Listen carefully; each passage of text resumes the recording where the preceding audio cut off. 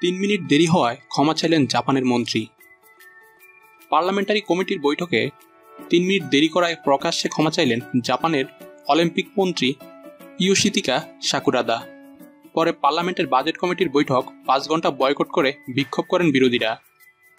তারা বলেন, এর মাধ্যমে প্রমাণিত হয় যে ইয়োশিতিকা সাকারুদা অফিসের প্রতি দায়িত্বশীল নন। এর আগেও বিভিন্ন মন্তব্যের কারণে সমালোচিত হয়েছিলেন ইয়োশিতিকা সাকুরাদা।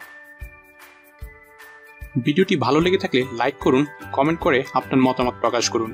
ভিডিওটি শেয়ার করুন এবং চ্যানেলটি সাবস্ক্রাইব করে আমাদের সাথেই থাকুন। ধন্যবাদ। সাবস্ক্রাইব করুন বাংলা ধামাকা চ্যানেল এবং বেল আইকন ক্লিক করুন সবার আগে নতুন ভিডিও দেখার জন্য।